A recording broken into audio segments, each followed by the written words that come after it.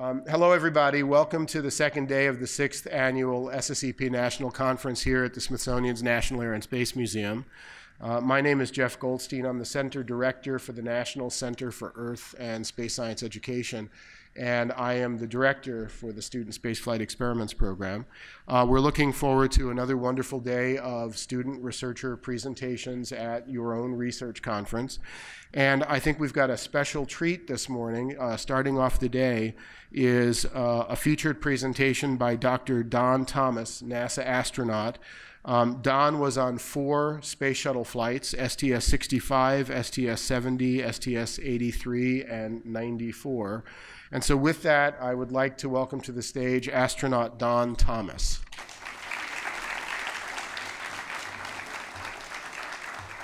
Thank you very much. Good morning, everybody. How's everybody?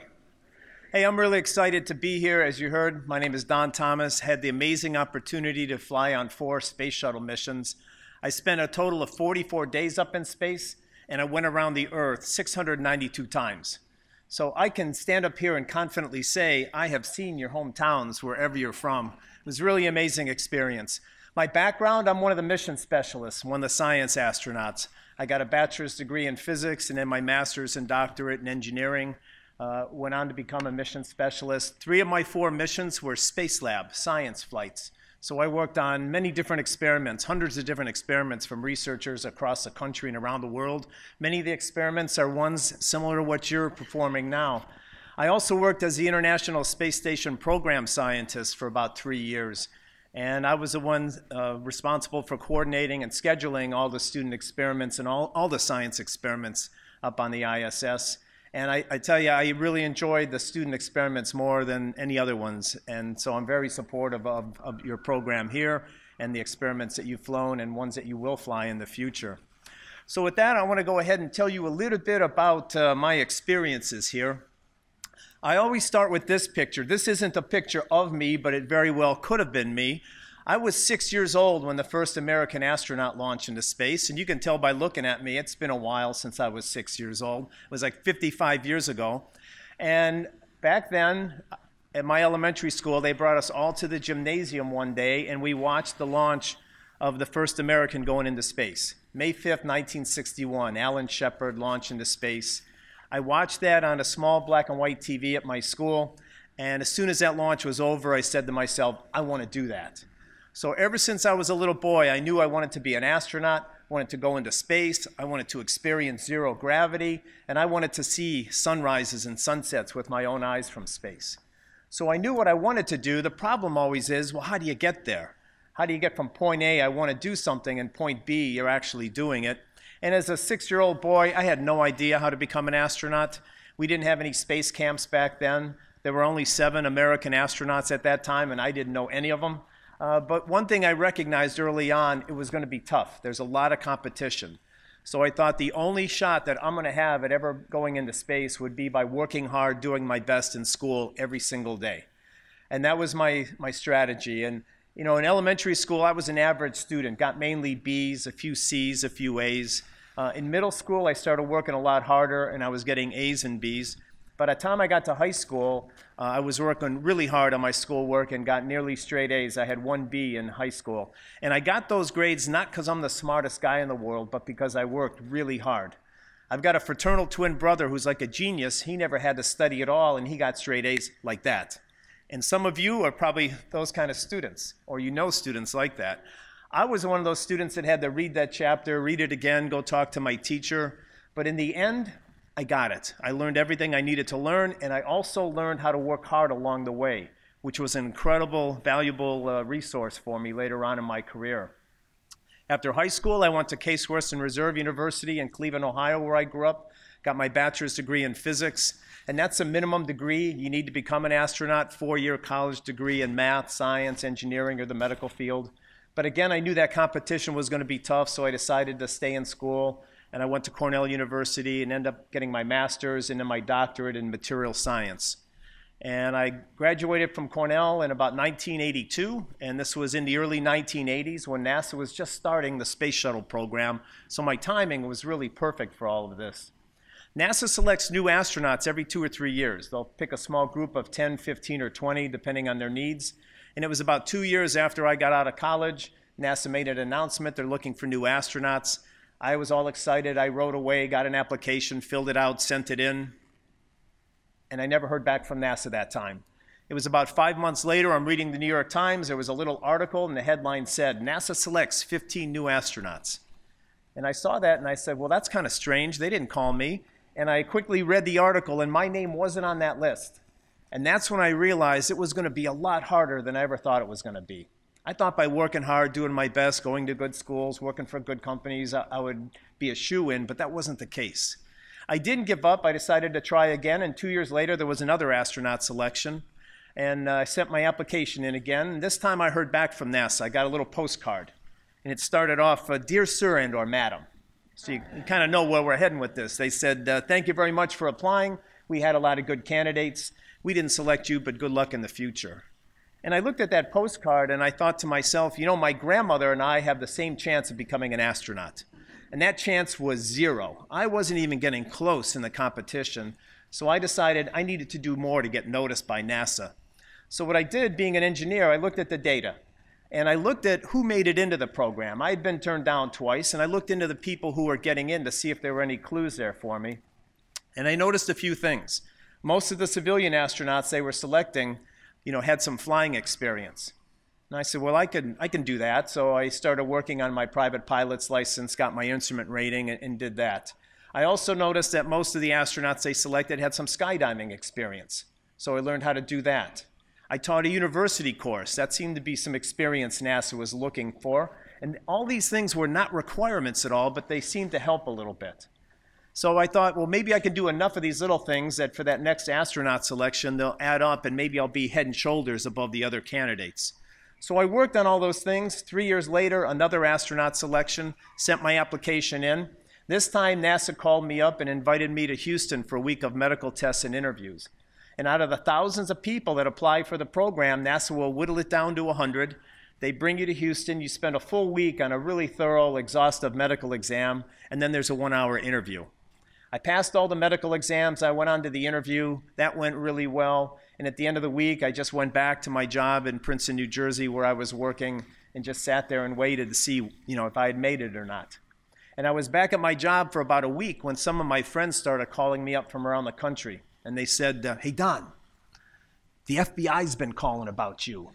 And let me tell you, if the FBI's ever calling about you, it's either really good or really bad. This case, it was really good. NASA was doing a security background check on me. And they went into my past and checked on you know, any employer that I ever worked for from high school on. They would go to my former bosses and ask them, hey, what kind of worker was Don? How did he treat the customers? How did he treat the coworkers? Did he show up to work on time? They would go up and down the streets in any neighborhood, wherever I lived from high school on, talking to neighbors and other people in the neighborhood, trying to ask about me. Was he out late partying all the time? What kind of neighbor was he? So they were looking for dirt on me. And I thought, this is a great sign. You know, I didn't think NASA could be doing this to all 100 people they interviewed.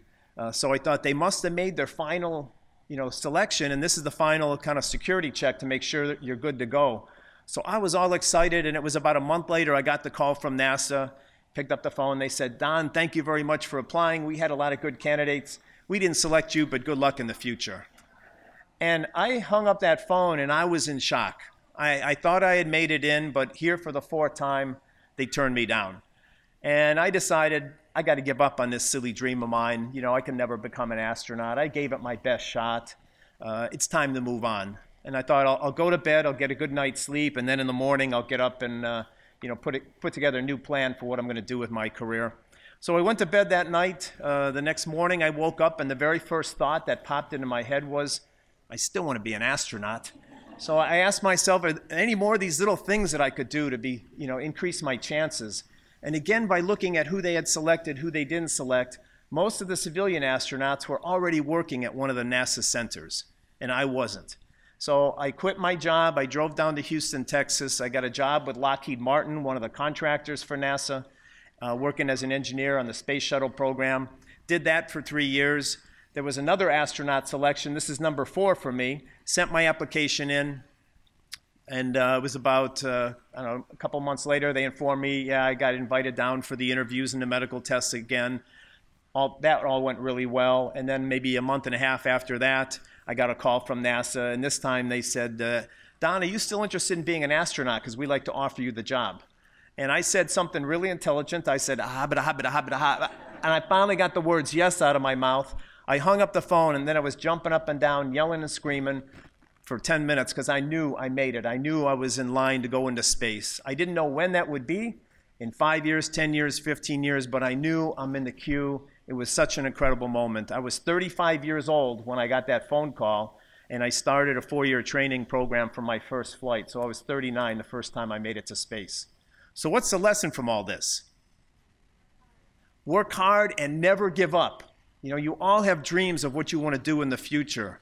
So I just want to encourage you do not give up on anything, any challenge that you come up across. If you don't succeed that first time, if you hit a wall, look for ways to go around over the top. Things you can do to always, you know, increase your background, to in, in, increase, you know, your skill set, to make you a better candidate for that for that next go around. So never give up along the way. And I went on to becoming an astronaut, flying on four shuttle missions. This is the crew for my last flight, and the last time I was in space was 19 years ago already aboard Space Shuttle Columbia. It was one of our Spacelab science missions. This is the crew. I'm there on the far right hand side. You probably don't even recognize me, but that's the way I looked 19 years ago.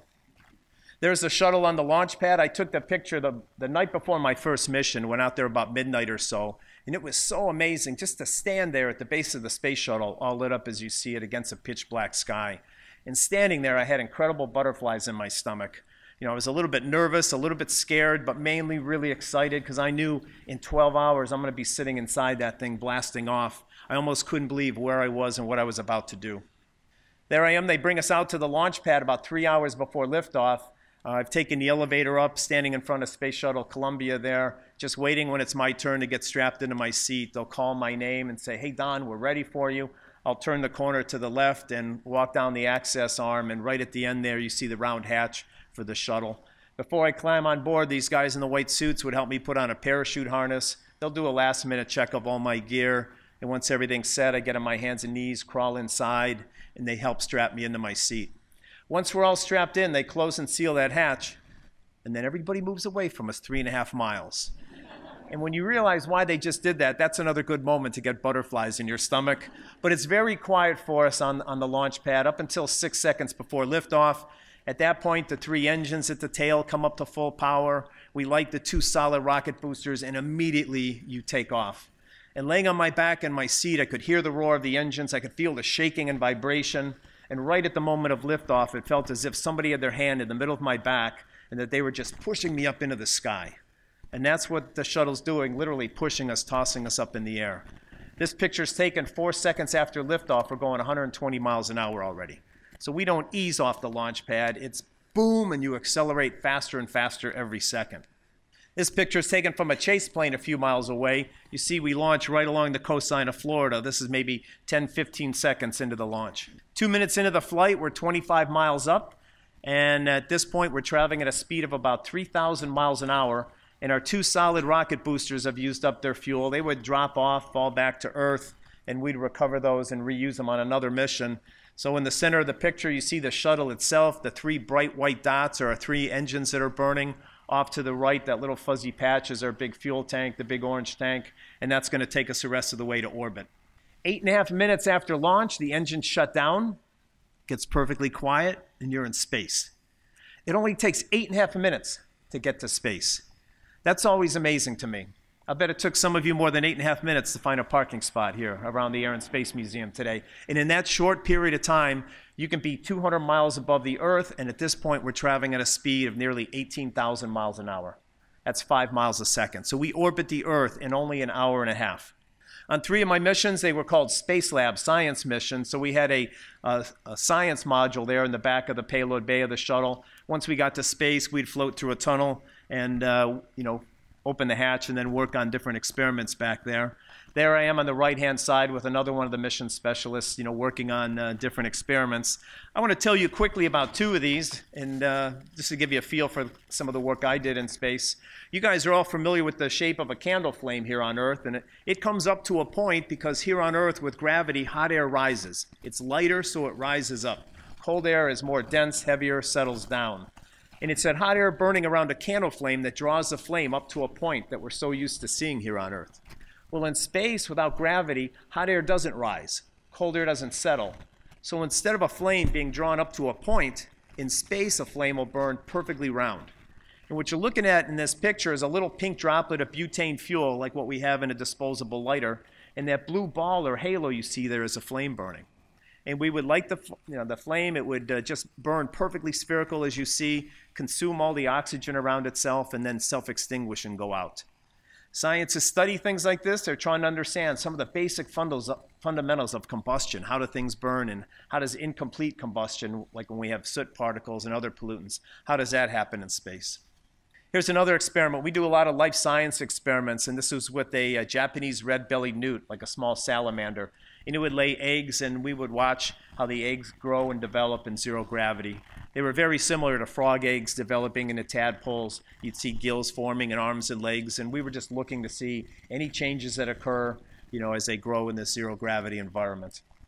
In space, it's a wonderful environment up there. You know, you don't walk around like we're used to doing here on Earth.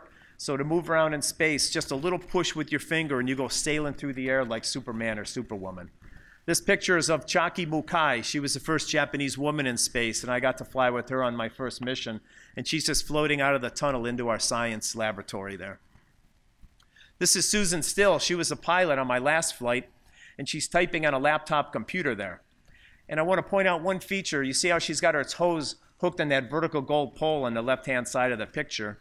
If she didn't hook her toes on that pole, every time she'd hit the keyboard on the computer, what do you think would happen?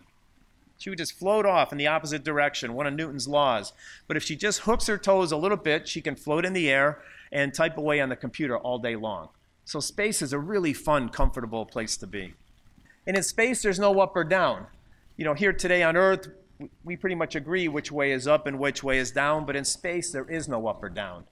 And you know, here on Earth, when you stand on your head, all the blood rushes to your head because of gravity.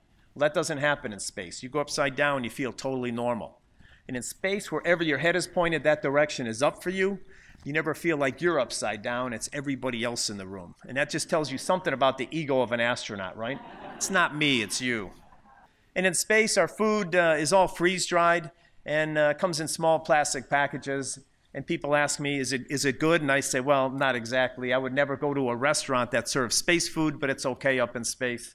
And to prepare it, we have a little food station you see here. Uh, a needle will poke into the package of food. We can inject water in there. That dry, hard food will soften up and absorb that water. And after a few minutes, it's ready to eat. We just cut it open with a pair of scissors and eat it with a normal fork or spoon. For drinking in space, we drink out of little foil pouches, very similar to juice bags or juice boxes, and very similar to Capri Sun juice drinks in those little aluminum bags. And in this picture, I've got a bag of uh, tropical punch. I've squeezed it, and some of it got away from me. And what looks like a little red golf ball right in front of my face is actually a blob of tropical punch. So any liquid in space forms a perfectly round ball. It's from a force called surface tension, drives it into a sphere, and it'll just float there right in front of you. You can go up and gobble it down with one gulp. Our more polite astronauts will take a straw, poke it in there, and drink it. And You'll see that blob get smaller and smaller and smaller and disappear. Exercise is really important in space. As I stand up here in front of you today, I'm using my leg muscles to, to walk around to fight gravity, but in space, it's just a little push and I float through the air. And everything is weightless in space. I could lift that space shuttle main engine over there with one finger if I was in space. So we're not using our muscles at all, and it's really important to exercise. So we had this little bicycle we'd ride every day for about 45 minutes just to get your heart muscle going, get your leg muscles working, so that when you come back to Earth, you're still in decent shape at the end of the mission. Our crews up on the International Space Station, they exercise two to three hours a day. That's a lot of exercise, but they still come back with weakened muscle, weakened bones. So we're still investigating ways to improve our exercise protocols up in space so that our astronauts can stay healthy for long, long times in space. Sleeping's a little different up there. We didn't have dedicated bedrooms on board the space shuttle, so when it was time to go to bed, we just took a sleeping bag, attach it to the wall as you see here. You float up, slip inside, zip it up, and you go to bed. We wear the dark eye shades that you see over the eyes because we go around the Earth every hour and a half. You get 45 minutes of daylight, 45 minutes of nighttime. If you don't want the sun coming in your eyes all the time, you need to wear the eye shades there. But very comfortable environment to sleep in. For cleaning up in space, we don't have a shower, we don't have a bathtub, we don't even have a sink like you have in your kitchen or bathroom at home. So we have some of those uh, aluminum drink bags that I showed you, and instead of having powdered juice in them, a few of them will have powdered soap. We could add hot water, mix up a bag of hot soapy water there, and then you know give yourself uh, put it on a washcloth and give yourself a sponge bath. That's how we clean up in space. For washing your hair, we have this shampoo that you see here called No Rinse Shampoo. And this was developed for people in the hospital who can't get out of bed to take a shower. Very easy to use, doesn't require any water. You just squirt it in your hair, work up a lather, then you take a towel and pat it dry, and you're done. I took this picture. I love the bottom line on the bottle. It's a little hard to read, but it says, for beautifully clean, full bodied hair. And just wanted to share with you what that looks like in space. That's Susan, our pilot, and I'm not picking on Susan here. Even my short hair floats all over in space. We say that every day in space is a bad hair day. I want to show you the granddaddy of all bad hair days in space, and that's right here. It's Marsha Ivins. She flew on five shuttle missions. Uh, she wouldn't leave her hair like this normally during the mission. Otherwise, for the rest of us, it would be like scuba diving through seaweed. She'd put it in a ponytail, but this is just uh, the fun and joy of being in zero gravity. This is our shuttle toilet. We've got a great one on display over here, right behind me. And uh, the toilet is an amazing piece of engineering. Uh, here on Earth, we use gravity to collect the waste material in a toilet, but on the shuttle, we have giant fans in the bowl part of the toilet. And to activate the toilet, you push a knob, turns these fans on, and the air gets sucked from the toilet seat downward. So we use this down rush of air to kind of act like gravity to keep all the waste material from floating out. It's probably more than you needed to know here today, right? And looking out at the Earth, uh, looking out the windows back at planet Earth is, is probably the most favorite activity of all the astronauts up on, this, on the space shuttle program and the space station as well. Uh, it was so great just to float at the window. I've got a map in my hand trying to figure out where we are around planet Earth, and I'm looking out a window there towards the tail end of the shuttle. And I took a camera right up to that window, pressed it against the glass, and took a picture so you can see exactly what my eyes are seeing. And that's the view you get to see from 200 miles up. So in the background there, all the blue is the Pacific Ocean. The white area are puffy clouds. On the right-hand side, you see Baja California and the mainland of Mexico. Here's a giant hurricane. I saw many storms. This was a huge one out over the Pacific, about 400 miles across. We flew right over the top of it, and from 200 miles up, I could look straight down right into the eye and see the blue water of the Pacific Ocean. The next picture will show you the eye looking straight into it from directly overhead, right there. Just awesome to see that from directly overhead. Here's a volcano venting steam. It's always fun to see something happening down on planet Earth. Here you see the Himalaya Mountains. And right in the center of the picture there is Mount Everest. And right there is the very top of Mount Everest. So I can stand up here in front of you and tell you without lying, I have seen the top of Mount Everest with my own eyes about 25 times during my missions. Admittedly, it's the lazy man's way to see the top of Mount Everest, but I use it to point out some of the things I got to see and do during my career. I've never climbed Mount Everest, never will in my lifetime, but I've seen the top of it many times. Seen the Great Barrier Reef. I've seen the Amazon rainforest, Mount Kilimanjaro. So many incredible sights out the window. This is the city of Baltimore from space. Cities show up very gray. And this next one is this is Baltimore near the top and Washington, D.C. at the bottom just showing you city lights at nighttime. And this is a picture of the I-95 corridor. And I put in some cities here. So you can see New York on the far right, Philadelphia, Baltimore, Washington. You know, it's really amazing to, to fly over, you know, the East Coast here. And you can look all the way up to Boston and just see city lights the whole way you go.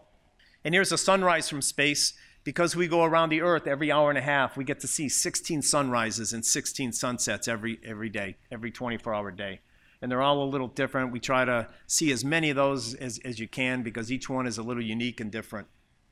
At the end of the mission, then it was time to come home. We would fire two engines in the back of the shuttle, slow our speed from like 18,000 miles an hour down to 17,000 miles an hour. And it sounds like we're going fast, but at that speed, it slows us down enough where gravity takes over and we begin our fall back to Earth. It only takes eight and a half minutes to get to space, but it would take us about 55 minutes to re enter the atmosphere. We do it much slower, much more gradual, so we don't overheat. And at, at the end of that, we would land at the Kennedy Space Center in Florida, touch down like an airplane, and uh, deploy this big drag parachute out the back. And then we'd put the brakes on and just roll to a stop at the end of the runway, and we'd just sit and wait for them to open the hatch for us. And typically, it would take them about an hour before they could open the hatch. And when you first come back from space, you feel like you weigh about 2,000 pounds because you've been floating around weightless for two weeks, and then suddenly you come back to this pull of gravity. Just a normal pull we feel in here today. My arms were heavy, my legs were heavy, I was a little dizzy, and it took about a, you know, a day or so for the dizziness to go away, and maybe four or five days to get your muscle strength back, and then you're pretty much back to normal. So this picture was taken maybe two hours after I landed on my first flight. I'm on the left-hand side there. And after we took this picture, I remember turning around, looking up, and I saw the word Columbia there. And I thought, what an amazing vehicle this space shuttle is. You know, this was my house in space for two weeks. This thing protected me from the fiery reentry coming in through the atmosphere. And then one of the next thoughts that popped into my head was, I got to do this again. And it's like going on one of those great roller coasters at one of the theme parks. You get off sometimes, you run around, get back in line, and do it again. Have you ever done that? Well, that's exactly how I felt when I landed on my first mission. I just said, this was such an uh, incredible experience that I needed to do it again. And I went on to fly a total of uh, four space shuttle missions. So with that, I just want to end it, to tell you I'm really thrilled to be here. I'm looking forward to hearing about some of the research our students are doing and, and maybe meeting some of you afterwards. I wish you all, all the best in the future. And the one message I want to leave with you again today is to never give up on anything that you're working on. That is good to become an astronaut. That advice is good if you want to be a teacher, a doctor, a lawyer, a scientist, a musician. Just never give up. This stuff isn't easy to do. It takes time to get there. It takes a lot of hard work. Uh, but in the end, it's so worth it. And when I felt that push in my back when I was taking off on the first mission, I had my helmet on, visor down. Nobody in the world could hear me, and I was screaming inside my helmet, Yahoo, let's go. And this is what you want to have in life. You want one of these Yahoo moments when you achieve that dream of your lifetime. It's such a, an incredible moment. So, thank you all very much. It's been a pleasure to be here today. Thank you all. Thank you. John, let's see if we can take a couple of questions. Okay. Uh, does anybody want to ask Dr. Thomas a couple of questions? Um, I have a question. Um, uh, can you see the Great Wall of China from space?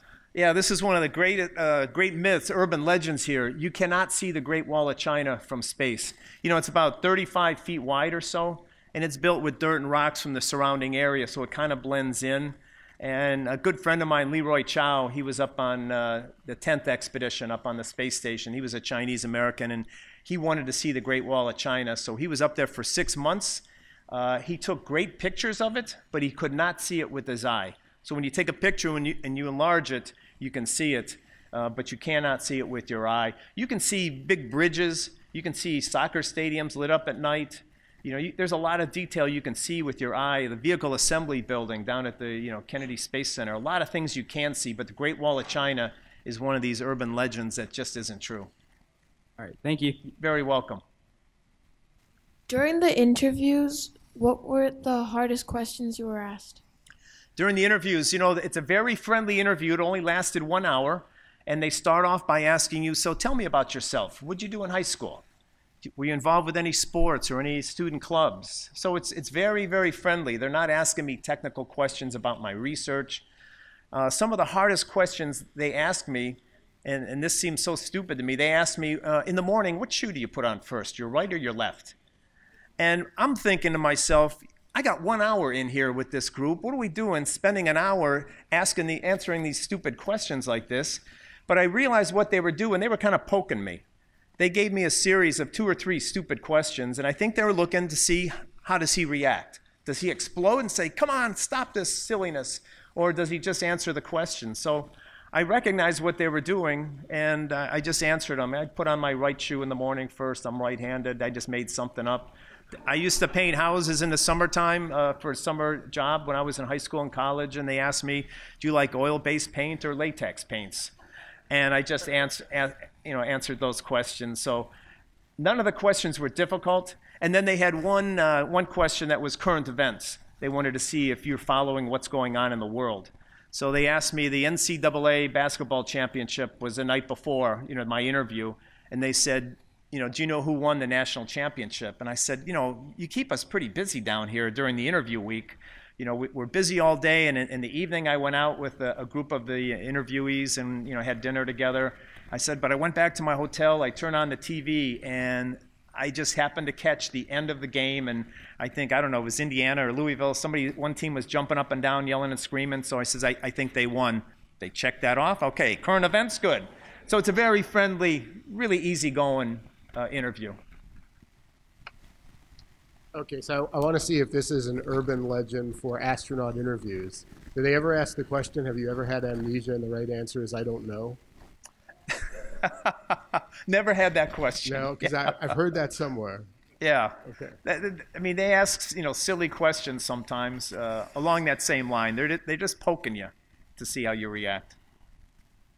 One of my most memorable childhood memories is waking up to a double sonic boom at four in the morning um, when the space shuttle would sometimes land at Edwards Air Force Base in Southern California. And I always wondered why are there two sonic booms specifically for the space shuttle? Yeah, I'm not a uh, aeronautical engineer, but my understanding it has to do with the, the delta shape of the wing. It's got two angles coming out, and th- that's what causes the double sonic boom. A capsule, you know, coming in, you know, would just give you one, but because of that delta shape, it changes angles in there as it comes out. That's my understanding of it. Thank you. Pretty amazing to hear that too. Well, let's thank Dr. Thomas for this really inspirational Thank you all very much. It's a real pleasure to be And- here. And again, Thank you, everybody. And